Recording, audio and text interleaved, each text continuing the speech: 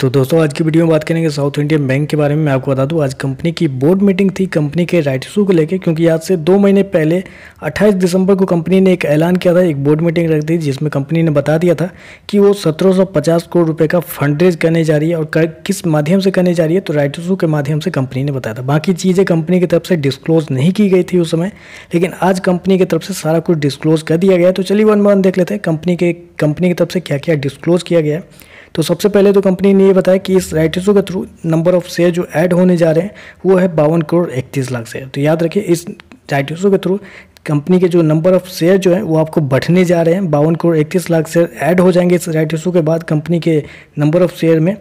Right issue का price company की तरफ़ से रखा गया है, वो रखा गया है बाईस रुपये प्रति शेयर जी हाँ बाईस रुपये प्रति शेयर का कंपनी की तरफ़ से राइट इशू प्राइस रखा गया है। अभी देखें तो आई थिंक तैंतीस रुपये के आसपास की क्लोजिंग है कंपनी के मतलब नॉर्मल शेयर की। तो आप कह सकते हैं कि तीस परसेंट के डिस्काउंट पे कंपनी का जो राइट इशू है, वो आपको आता हुआ देखने तो जो एक अच्छी बात है, क्योंकि मुझे हिसाब से बाईस रुपये पर ये शेयर आपको मतलब शॉर्ट टर्म में तो मुझे नहीं लगता कि आपको देखने को मिलेगा। तो एक अच्छा खासा बेट हो सकता है जिनके पास भी ये शेयर है। तैंतीस रुपये का शेयर आपको बाईस रुपये मिलने जा रहा है।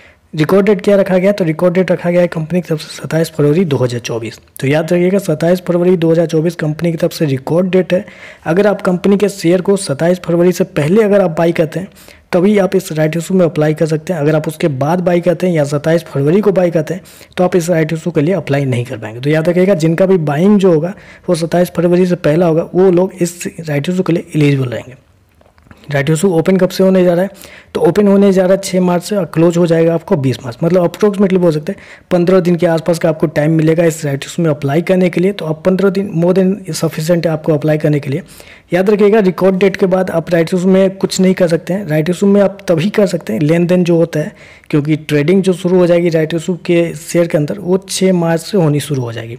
तो छः मार्च से पहले आप समझिए, पाँच मार्च के आसपास आपके अकाउंट में राइट वाले जो शेयर है, वो आपके अकाउंट में क्रेडिट कर दिए जाएँगे कंपनी की ओर से। फिर आपके पास दो ऑप्शन रहेगा या तो उसको नॉर्मल मार्केट में आप बेच दीजिए, जो कि वो सेकेंडरी मार्केट है, उसमें आप बेच दीजिए, या फिर आप नेट बैंकिंग के थ्रू कंपनी का जो बाईस रुपये प्रति शेयर है, उसके हिसाब से प्रीमियम देके आप उसको परमानेंटली अपने अकाउंट में क्रेडिट करवा लें।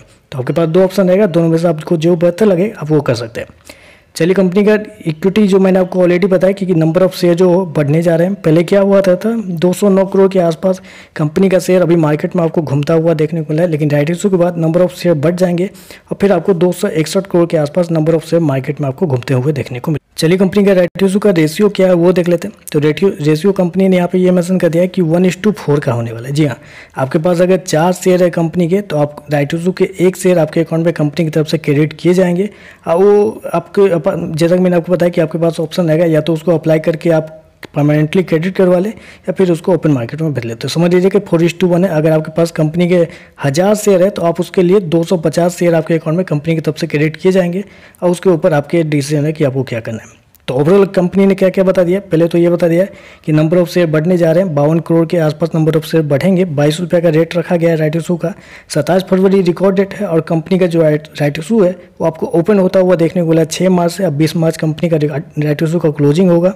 और राइट इशू का जो रेशियो है, वो रखा गया है वन इस टू फोर का। यानी कि हर चार शेयर पे कंपनी की ओर से एक शेयर आपको दिए जाएँगे। मैं आपको बता दूँ छः मार्च कंपनी का राइट इशू ओपन होने वाला है। और छः मार्च को ही मैं आपको एक वीडियो बना दूँगा कि आपको कैसे राइट इशू में आपको अप्लाई करना है, क्योंकि स्टेप बाय स्टेप थोड़ा लेंदी प्रोसेस होता है तो मैं आपको पूरा वीडियो के थ्रू आपको बता दूँगा कि कैसे आपको अप्लाई करना है। तो यहाँ पर दो वीडियो आपको देखने को मिल रहा है एक तो होगा कि राइट इशू का फ़ायदे क्या है? ये वीडियो ज़रूर देखिएगा। दूसरा वीडियो रहेगा कि राइटर्स में आपको अप्लाई कैसे कैसे करना है।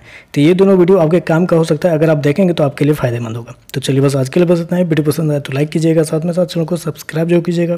धन्यवाद।